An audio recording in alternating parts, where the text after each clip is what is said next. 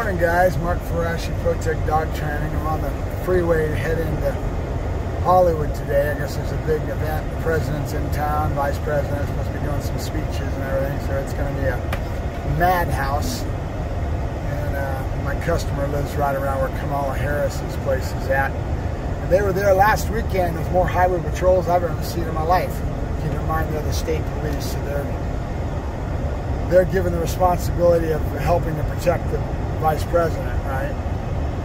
And uh, they were there last week. It was like Kamala Harris was home, and then I started to think about no, it wasn't. They're the whole week ahead of time. Their whole entourage is a whole week, and they set up all their security and they figure out exactly how they're going to do things to get them in and out of that event in the safest way possible. And then I heard a little scuttlebutt yesterday on the internet that there was some kind of big threat coming in, but I'm sure there always is. And uh, our people are professionals and the law enforcement very professional, so I'm not too worried about it. Though there was some uh, some scuttlebutt that you know might want to stay away from LA, and I'm sure that was kind of in a way planned. They can calm down how many people are there and kind of get a lot of people to just leave town a little early, maybe on a Thursday, and not be in town with all this hubbub. Then they're they've got their drum a little bit tighter, right? doing their job to protect the president and the vice president. So, but I'm driving right into it. My customer's house is right close to there. So, but it is what it is. It's part of living in LA. So here we go into the rat race of LA in the middle of a major situation. So we'll find out. I should be able to get right in and out because I've already got it kind of mapped out for myself. I know exactly. Last time I ran right into all the roadblocks and the, the traffic people waving you in and out, and things were real tight because you're in these neighborhoods that are, you know, it's where all the uh, the affluence is at, which is all good. And so, you know, they've got their lifestyles. So uh, we'll get in there and give Draco's owners a lesson. That's kind of what I wanted to talk about today. So the first thing I do, personally, the way I handle my clients, is I give a demo when I bring the dog back, show the customers what the dog's doing, and, and I've done a good job. The dog's working like a top. Draco did pretty good. He was working pretty, pretty well. And you get the first reaction from the customers. Their jaw drops and they go, wow, because it feels like it's a different dog, right? Reality and truth. Dog's still the same dog. He's got a lot of respect for me and he understands the conditioning that I built up and he respects me as the, the pack leader in regards to our relationship, me and his, right? But the first thing Draco did was want to go right back into the same old behaviors with them. And keep in mind that um, you've got this this case in general, and in a lot of cases are like this, is it's an imbalance in relationship, right? Uh, they don't have a proper relationship with the dog, and the dog's walking all over the top of them, and then the dog starts wanting to be the pack leader, and that's not a good dynamic because most dogs will end up uh, making bad choices, right? And then they end up trying to be territorially aggressive and everything else. And, and when they're doing that, they become a liability, and then that's not a good relationship between them, the, the owners, which is the human that should be the pack leader, right? Not the dog. It's an old saying in dog training you treat a dog like a human, and he's going to treat you like a dog. That's very true, okay? So that being the case, that's kind of the dynamic we had going on. You know, it's um, and it's not the folks' fault. It's just just human nature to, you know, a lot of people treat a dog like a human. You know, and they uh, what's that little all the sayings with the, the rescue.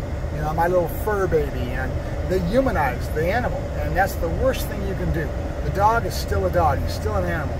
And if you fulfill his psychological needs and treat him like he's, he's going to be a lot more happy, a lot more balanced, and a lot more um, mentally balanced and mentally uh, stable, right? And that's what we need in our society, and that fulfills the dog's psychological needs. When I was hanging out with Cesar years ago, he had his own little thing. He still does. Very homeopathic in how he, he does things. He's not so much of a heel, sit down, stay as he is about teaching people to understand their energy and what they put out, what they expect of the dog, and how to fulfill that dog's psychological needs. And in that regards, it was all about his whole formula, which is fulfilling a dog's psychological needs go around a certain perspective, and that includes travel with the pack. Right? He would go out. We would go out every day. We'd go out to the to the to the hills, and we'd go to the river. We go we'd go places with a pack, and we will fulfill that psychological need to travel, to go with a pack. With a pack leader, you always see him walking, and he makes the dog stay behind him.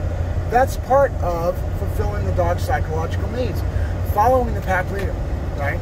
And so this is only one thing in a myriad of little things to overall fulfill the dog's psychological needs, right? So when you have a relationship with your dog, you want to be kind of in that same vein. Do it different ways. You don't have to do it like Cesar does. There's a lot of, it's, but it's all about comes down to how you treat the animal, right? And what you expect of them and how you treat them. And if you do the right things in that whole flow of your lifestyle in relationship to your pack leadership, and being a, uh, a strong pack leader, and uh, as Cesar always saying, calm and assertive, right? You'll go a lot farther in that in that relationship with the dog. So travel is one of those things. Food, eating, their whole routine of putting the food bowl down and controlling that pack that you see Cesar do. Same thing, right? Um, a lot of what I did with Draco was what we call impulse control. Because Draco wanted to do everything on his own, and they were trying to control this Tasmanian devil, not understanding these things and the dog was always trying to take lead, and that's an improper relationship. So now, we're, today, we're going to go over this with them today, whereas then we kind of already did when we, we dropped them off and did our, our drop off. Um, is accent again what impulse control is all about, and that you make him wait at the doors. You make him wait at the tailgate or the door of the car, and you make him wait to be go in. And when you get done and you want to come home and you open that door, you don't just let him jump out. You say nope, and you block him with a door, and you make him wait. And then you say his name, Draco. Good, Draco. Yep. Then he's allowed to get out, right? So there's a lot of contextual impulse control that's been built in with the conditioning. There's a reason for that. It's not just having control over the animal. It's about what you're doing to set mental parameters on the animal that fulfill his psychological aspects of the animal. He's a dog, right? And when you do that, you fulfill his psychological needs, and now he becomes very happy. He's, he's got he's in tune with you and the family, and now he starts to really become a functional animal in your lifestyle, right? And that's what these folks want, and that's what most of my customers all want. You know, the dogs usually got some kind of a problem based on how they're treating the animal, but conditioning the dog to have functional obedience and what we do is all part of it. But it's not a heel, sit down, stay. There's more that goes on in that, right? It's what we do within our routine that we've set these perimeters in, right? Impulse control is a big part of that, right? It allows you to be the one that's the alpha, and then you dictate when the dog gets to break and when he gets to go in the door. And so now you always have that contextual uh, alpha wolf type thing. Doesn't mean you need to beat him up. You don't need to be abusive. You don't need to, you know, you hear people talking about dominance. Well, dominance is, is very subtle. It doesn't need to be where you do these alpha rolls and put the dog on his back. You don't need that. You just need to have a functional pattern in how you do things that fulfill the dog's psychological needs and put you in the control of the animal and you are now the alpha wolf, right? That's all it is, right? So um, that's kind of my highlight point that I wanted to put out as I start my drive to, to Hollywood, the ritzy part of town. And um, go over that with you because I'm going to be going over it with a customer today. This is their first lesson. I'll be giving them about five lessons overall. And the other thing, let's go ahead and talk about that. We started to break him into the stim collar. You remember a couple videos I did about me breaking him into the stim collar? Well, I didn't finish the last turnoff. I want three turnoffs, and I don't feel that we've conveyed the thought to the dog, right? Overall, about what the stim collar is about, giving the power to the dog so he understands that he's the one turning off the collar when he complies with something he already knows. And once the dog starts to understand that, I can start to grow the dog and expand on how I use the collar. But I can't do it until the dog understands the whole concept of the collar. Now these folks want to, they have a collar already, they want to put this into their routine. Why? Because they probably feel a little bit hampered with lack of control and they don't have confidence in working with the animal. But here's the point, I've said it before, the tool is only as good as the person using it. It's not the tool, it's not just a button. It's a matter of understanding the psychology of how we condition an animal and the the whole thing of uh, classical conditioning, operant conditioning. You should have that understanding under your belt before you end up going to a stim collar, is my personal opinion, right? So I really am hesitant to say, okay, here's the collar, go ahead and give them a lesson today on how to use the collar.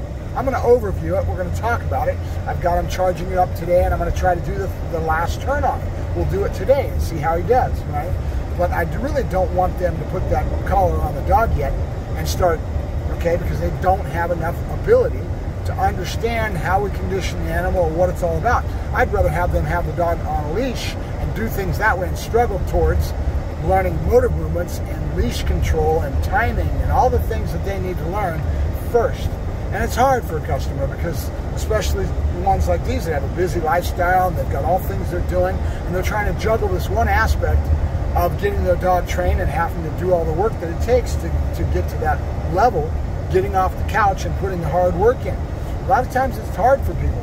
They um, they want this and they have a certain perception, certain, certain perspective of what this means, and so they want to train dog. But they they got to come to the realization that with that comes them getting off the couch and putting the hard work in. He's not a robot, right? It's not just like putting a, a bolt in the machinery and saying, okay, it's fixed, and you can drive down down the road. It doesn't work that way. It's a relationship. The dog is an emotional creature that needs to understand and have a, a relationship and respect with you. Okay, and everybody in the pack is going to be respected a little differently. One person might have the dog's total control and have a lot more respect because he's doing things the right way. He's more of a has more assertive, assertive and calm nature. Another person might not have that same and be lacking in those areas, and the dog doesn't. So there's a hierarchy. Dogs are always going after the hierarchy in the pack. You hear about that all the time. So the dog, individually as the dog, he respects each person as an individual. Okay, so that's just the way it works. So that person maybe that's uh, the weakest in that regard needs to work all the harder to be able to bring themselves up to a level that the dog respects. And that means they've got to work harder, right? So, all right, let me get out of here before this thing shuts off. I'm starting to have a clogged memory problem again, and it's very likely going to shut off and I'll lose my feed. So, I thank you very much, Mark Ferrasci, ProTech Dog Training, heading into Hollywood to uh, work with Draco and the customers there. I'll talk to you later. Bye-bye.